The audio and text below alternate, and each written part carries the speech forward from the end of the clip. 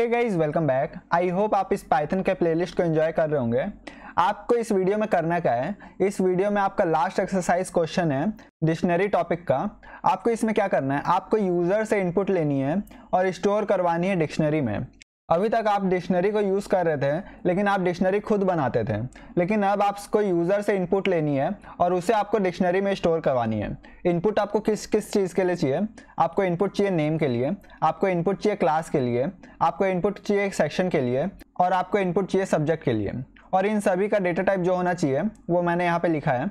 String and और string और subject होनी चाहिए टूपल में। तो आई होप आपको इतना क्लियर हुआ होगा। अब मैं बताता हूँ आपको आउटपुट क्या करवानी है। आपको आउटपुट में पूरे डिक्शनरी को प्रिंट करवाना है और उसके बाद अगर हमारे स्टूडेंट का क्लास वो नाइन से कम है तो आपको प्रिंट करवाना है योर एग्ज़ाम फ्रॉम फिफ्टीन अगर आपका स्टूडेंट का क्लास नाइन से ऊपर है तो उसके लिए आपको प्रिंट करवाना है your exam is from twenty अब मैं इसका आउटपुट दिखाता हूँ, आपको आउटपुट कैसे जनरेट करना है।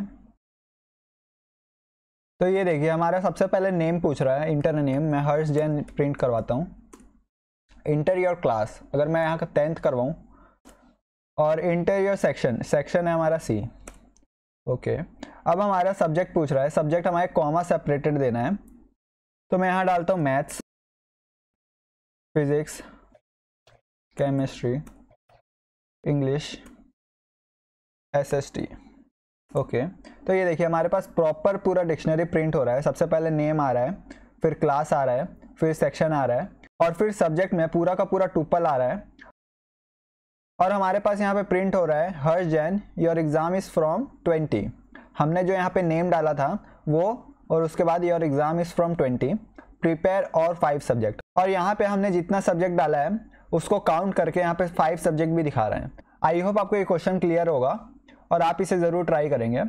Thank you for watching this video and please like my video and subscribe to my channel for more quality content